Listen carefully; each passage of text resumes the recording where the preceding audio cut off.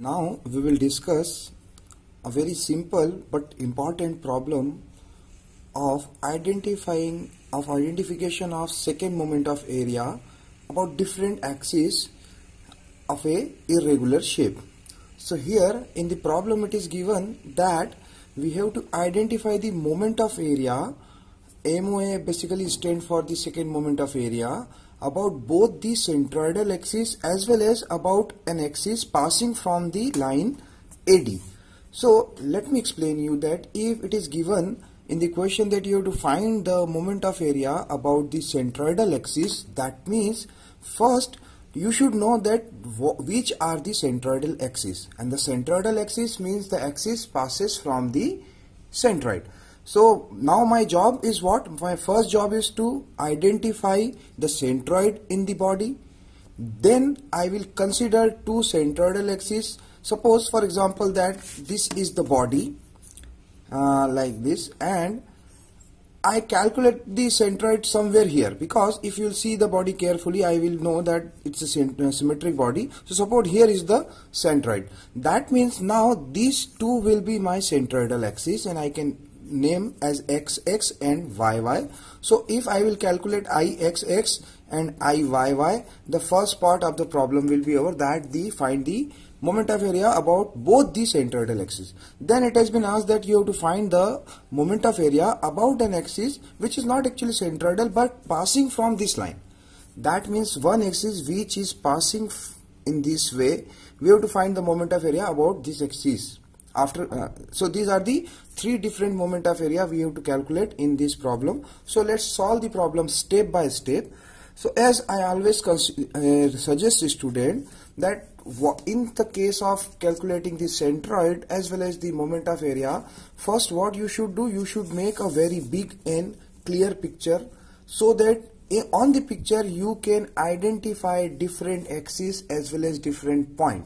So now in this case this is my body and my first job would be to make the references. And as usual I consider the extreme bottom as one of my reference and the extreme left as one of my reference. But at this point let me tell you I'm not going to consider this bottom as one of my axis why? Because if I will observe the body carefully I can identify that this is a symmetric body and the axis of symmetric is this horizontal line which is passing basically from the center of the vertical or the height of the object. Suppose this is the 16 size.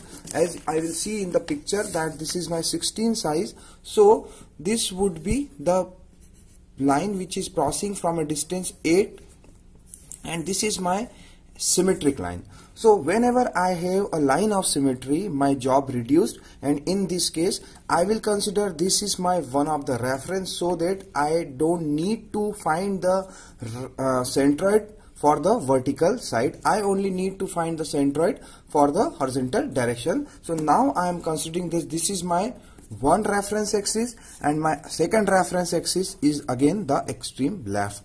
So now my first job is to find the centroidal axis and to find the centroidal axis I have to calculate the centroid first. So now as uh, generally I consider that first I will make a table.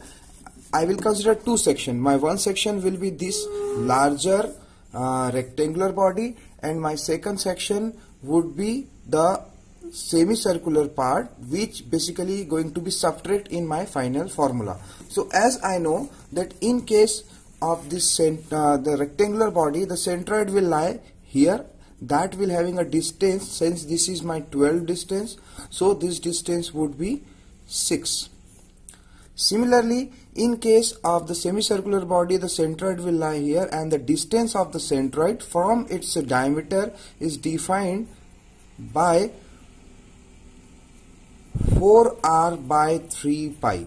I request all the students please remember these values because you cannot derive all uh, you cannot derive these answers all the time. So whenever you solve the problem particularly when you are attempting the exam you should remember this formula. So for the semicircle I know that here is the centroid. For the rectangular body here is the centroid. And then I have to find the centroid. So now I have two section. My section 1 is rectangular body I usually consider a standard table. So whenever you will follow the table, the chance of doing errors will be minimized.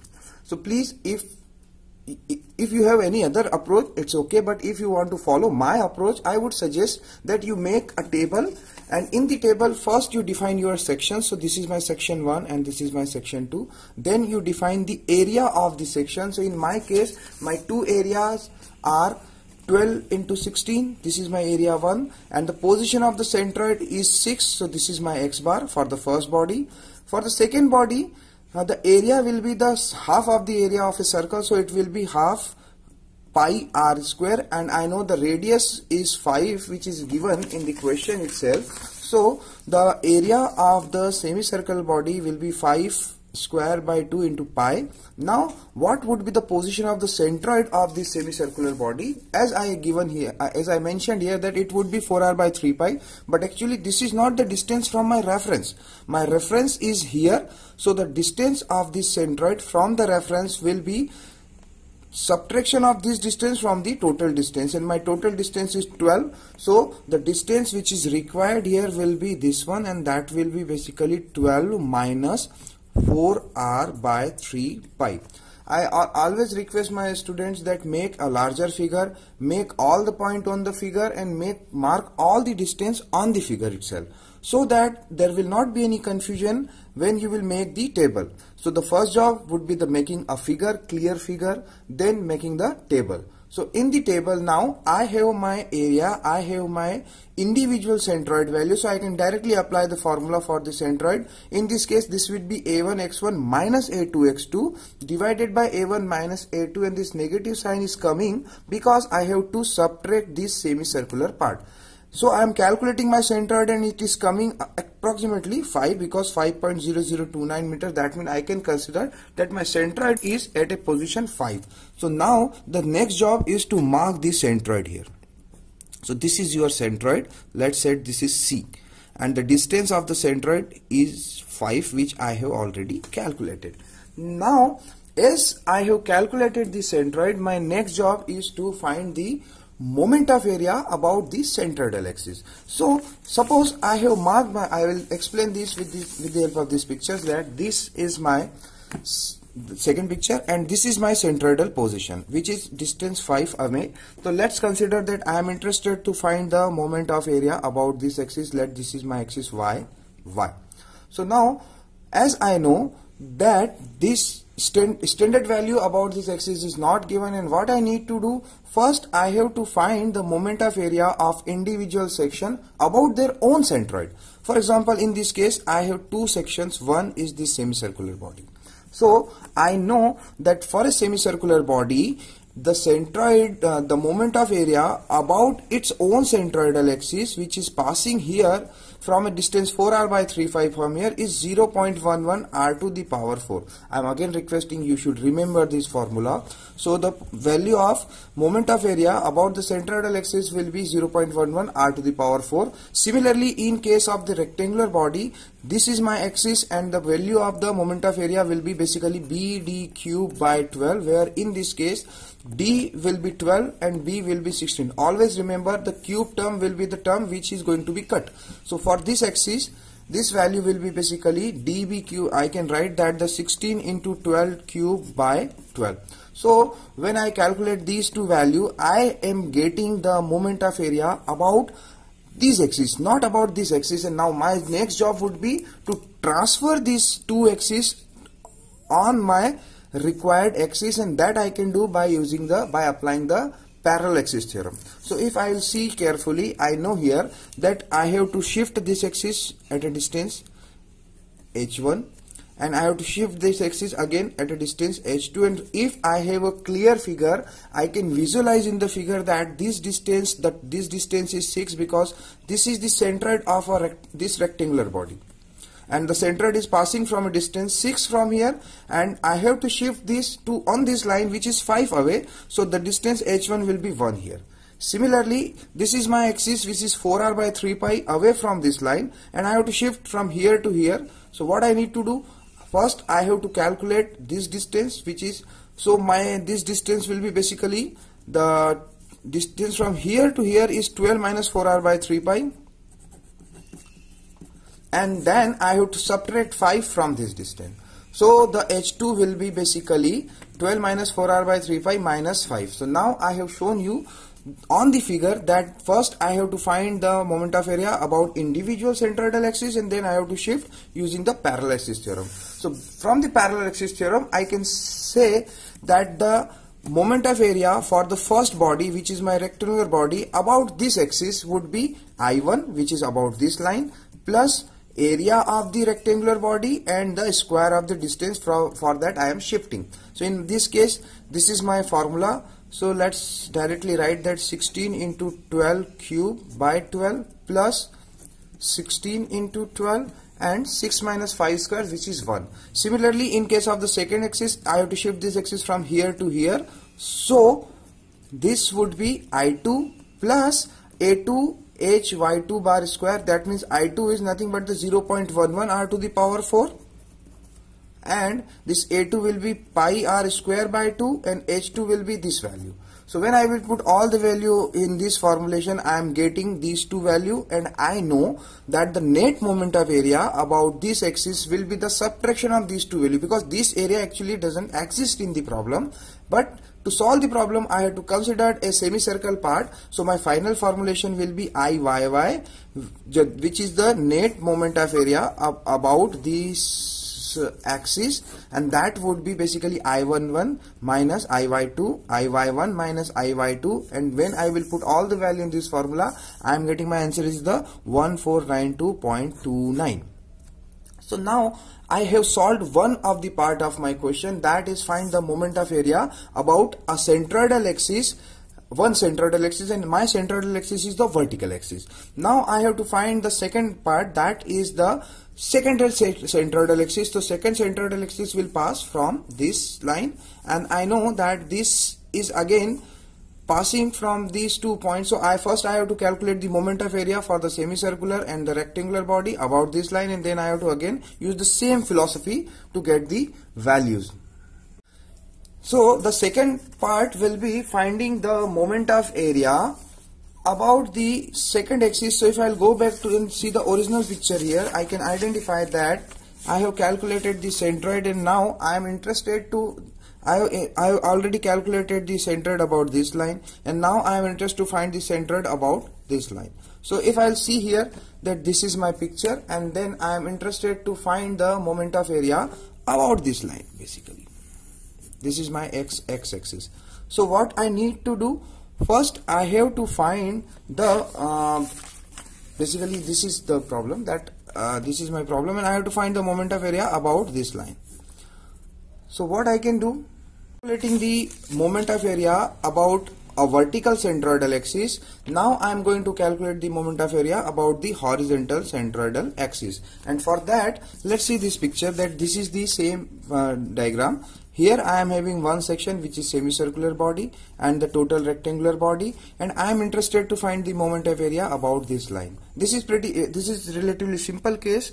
So I know that in case of a semicircular body, the moment of area about a line which is basically passing from the center and cutting the semicircular part into two halves is defined by the pi by 128 into the diameter power 4 and in this case I have two body. One is the rectangular body and this is the axis for the rectangular body. This is 12 value this is 16 value. So moment of area about this line will be basically uh, 12 into 16 to the power 3 divided by 12 and for this uh, semicircular body it is pi by 128 diameter power 4 so I know that now I have to find the net moment of area about this line and then for that I have to subtract these two value. So my net moment of area about this centroidal axis. Because in this case if you will see the previous case I shifted my axis from this line to here and from this line to here because the axis for the centroidal axis was not passing from the center of these two individual sections. But in this case as this is a symmetric axis I know that my required axis itself passing from the centroid of the two individual sections so I, I don't require to shift my axis. I need to simply take these two axes and I have to simply subtract the value. And here is the answer that for the axis which is passing from the centroid of the body having a moment of area defined by 3850.56 and if you recall the previous answer the moment of area about this line was 1492.29 I request all the viewers or the students that I tried my best to get this numerical value correct. Sometime it may happen that the I, I did I do some calculation error. So you please correct by yourself. I request all of you you solve these problems by hand by by yourself just don't see the video and try that okay I can solve the problem when I will be it will be asked. You try by yourself problem step by step then only you will be able to solve the problem in the examinations. So now I have solved the two problem. The first case was to find the second moment of area about the both the centroidal axis. So now in this case, if I'll come back and I'll see my picture that I have calculated the second moment of area about this line, I have calculated the second moment of area of this line, and now the third part is to find the second moment of area. So in this case, if I am interested to find the second moment of area about this line, again I am going to repeat the same procedure. But what I am going my case that this is my body which is 12 and 16 and I uh, centroids and then what I need to do I have to shift these two about this line because this is the line about that I have to find the moment of area which is AD and this is the line AD so what I need to do I have to shift these axis these two axes on this line and for that I have to calculate the shifting distance because when I will apply the parallel axis theorem I need that the moment of area about of the body about its individual moment uh, uh, centroidal axis then I have to add this term which is representing the area of the body multiplied by the square of the shifting distance. So in my case the if I'll see the picture here that I know that this is my first body and its own centroidal axis is here. The second centroidal body the, second body having a centroidal axis here and I have to shift these two axes from this line to this line.